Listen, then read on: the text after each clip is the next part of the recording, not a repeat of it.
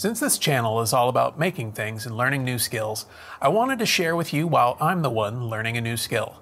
I was recently given the opportunity to get my hands on the Formart 2 Smart Vacuformer before they launched their Kickstarter campaign. And while I've had some experience with thermoforming, I wouldn't call myself an expert by any means.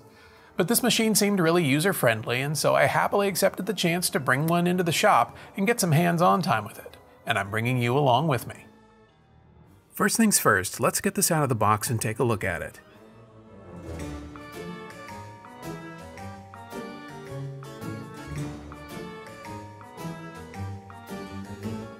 I have to say, I'm really impressed by the build quality, and it looks really cool too. I'm a sucker for good industrial design.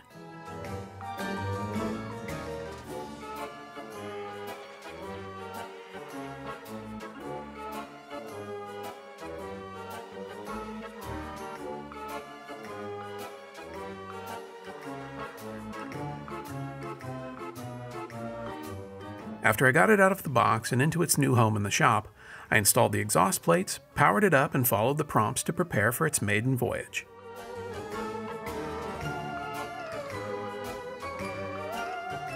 It gives a quick systems check when you power it up, testing the vacuum pumps, blower, and heating element before you can start using it.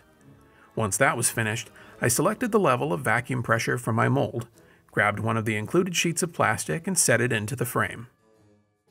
The Formart 2 immediately scanned the QR code sticker from the corner of the sheet and automatically loaded the correct settings based on the type of plastic I was using. I pressed the dial to confirm the settings, secured my sheet in the frame, and raised the tray until it locked into place with magnets below the heating element.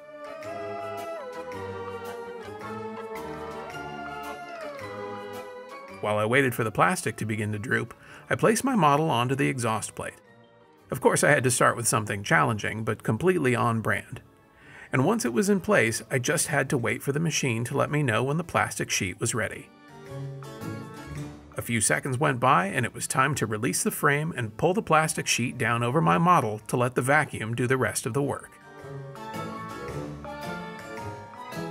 Okay, let's see that again. The frame locks into place, creating a tight seal so that there's an even amount of suction around the part, and after a brief cooling period, a blower turns on to help release your part from the form. Surprisingly, the whole process only takes a few minutes start to finish. And as you can see, every detail is captured in the plastic. And fans of the Haunted Mansion will immediately recognize this effect.